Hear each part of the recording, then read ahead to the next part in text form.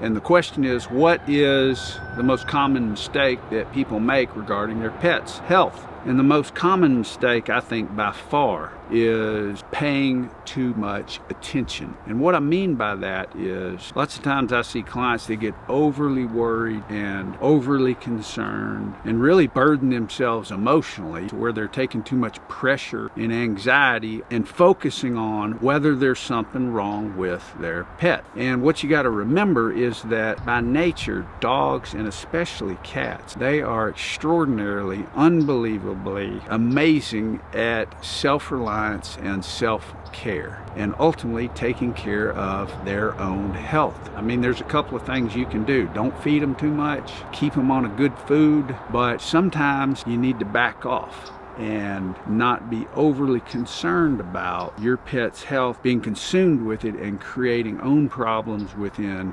yourself. Remember, pets are self-reliant and it's vitally important to know when you need to do something but it's also vitally important to know when you don't need to do something. Again if you have questions or you need help with a dog cat pet whatever give us a call. Again i'm dr marc smith Natchez Trace veterinary services nashville tennessee 615-750-2248